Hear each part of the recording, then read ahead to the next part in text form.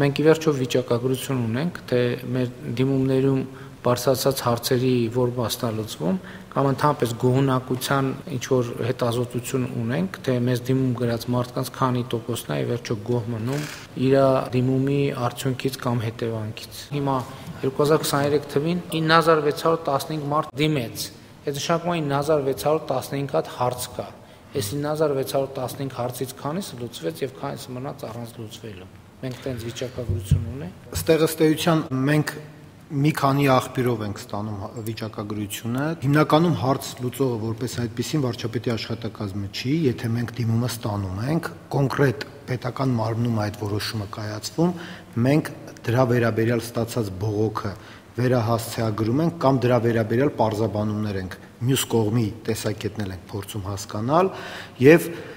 մեր վերահասցեագրած դիմումների նկատմամբ հսկողություն սահմանելով մենք հետո վիճակագրություն ենք ստանում թե քանի տոկոսը ինչ ելքով է ավարտվել ու դրանով իսկ հասկանում ենք թե վերահասցեագրածներից քանիսը լուծվեց կամ չլուծվեց դիմումների դեպքում որ բավարարվում է մեծ ցուցանիշներ են կազմում Շատ լավ, այստեղ հարց իրական երկու կողմ ունի, առաջինը որ իսկապես արդյունավետ լինի այդ աշխատանքը դիմումների հետ աշխատելու, բայց նաև այդ է պետք արձանագրել, որ ի վերջո քաղաքացիների դիմումները ահռելի ինֆորմացիա են պարունակում երկրում տեղի ունեցողի մասին եւ ասենք այդ տեղեկատվությունը ըստ էության շատ մեծ արժեք ունի։ Եթե մենք այդ տվյալները վերլուծել, դա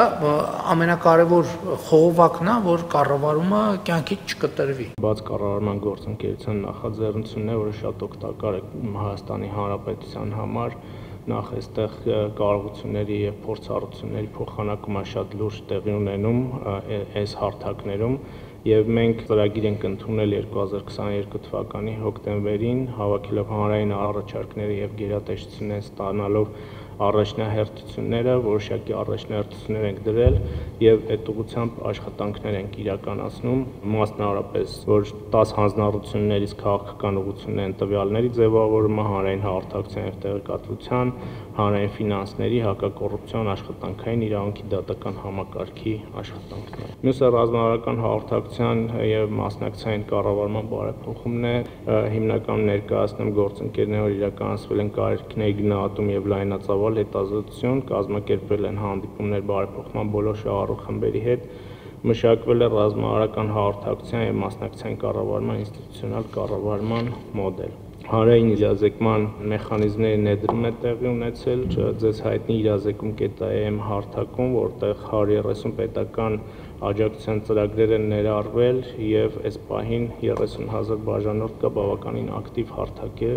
որտեղ այդ ծրագրերը մատչելի ձևով ներկայացում են Մեր մեծ միջոցառումները, որոնք իրականացրել ենք եւ իրականացնում ենք, որոնք տեսանելի են եղել շատ Հայաստանում եւ Հայաստանից դուրս ծանրամարտի առաջնությունը աշխատակազմն ըստեղության համակարգել ամբողջությամբ եւ իրականացրել, այստեղ են Շարլ Անձնավորի 100-ամյակին նվիրված միջոցառումները, Սերգեյ Փարաջանովի 100-ամյակին նվիրված միջոցառումները, Արամ Խաչատուրյանի իհարկե Ազնավուրինը արժևում են, բայց այս երկուսը արդեն շատ տեսանելի են եւ համայնքական 8-րդ խաղերն ենք իրականացրել